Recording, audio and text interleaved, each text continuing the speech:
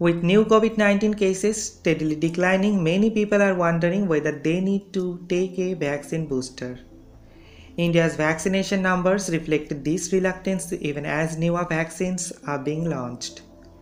Government data shows only about 30% of eligible population has taken a third or booster dose till date. On the other hand, there are healthcare workers, the elderly, and those with comorbidities who took the booster dose from 6 months to a year ago. They want the government to allow a fourth dose for them given their greater vulnerability to the disease. But senior officials in the health ministry say their focus is on expanding coverage of third dose, especially among the high risk groups.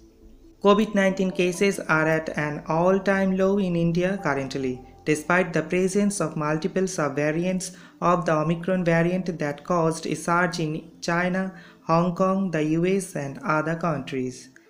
Therefore, we do not see any reasons to rush on allowing a fourth dose. A decision will be taken on the subject when the need arises, said a senior ministry official.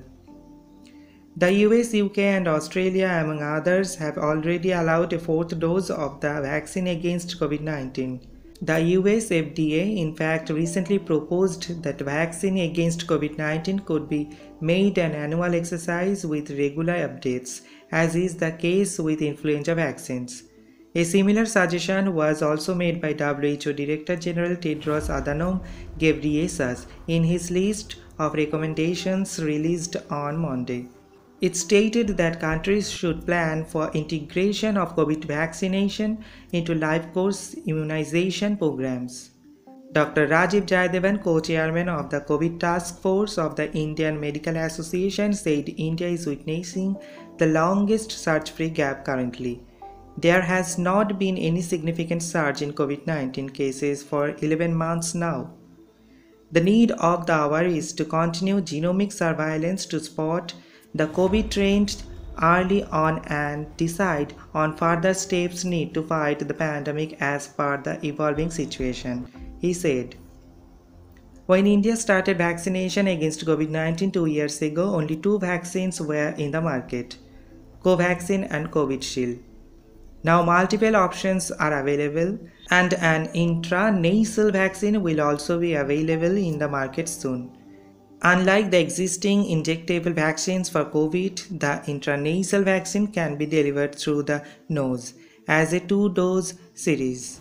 4 weeks apart, a total of 8 drops 0.5 ml per dose, 4 drops in each nostril are administered. According to Bharat Biotech that developed the vaccine called iNCOVACC in collaboration with Biotechnology Industry Research Assistance BIRAC. A PSU under the Department of Biotechnology, Ministry of Science and Technology. An Indian princess who became famous for playing a leading role in the British suffragette movement is to be honored with a blue plaque outside one of the houses she lived at in Britain.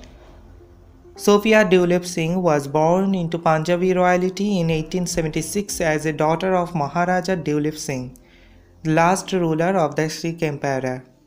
She was the granddaughter of Maharaja Ranjit Singh, founder of the Sikh Empire but her father had been deposed at the age of 10 by the British when the East India Company annexed Punjab at the end of the Second Anglo Sikh War in 1849. He did move to UK aged 15 in 1854 where he was naturalized as a British citizen. He was close to Queen Victoria, who became Sophia's godmother it was he who, as a child, had signed over the Kohinoor to Queen Victoria in 1849 as part of the Lahore Treaty. English Heritage, which aims to award about 12 plaques annually, he said Sophia will be honored with a blue plaque this year through the date is yet to be confirmed. For most of her life, Sophia had felt like a pointless socialite but it was a trip to India in 1907 where she met Indian freedom fighters which brought her alive and turned her into a revolutionary. On November 18, 1910, known as Black Friday, Sophie along with suffragette Emmeline Punk Hearst led 300 women to parliament demanding the right for women to vote. They were met by police and many of them were assaulted and over 100 were arrested. Finally, in 1918, women in Britain aged above 30 were given a qualified right to vote. The Blue Plaque scheme celebrates the link between significant figures of the past and the buildings in which they lived and worked.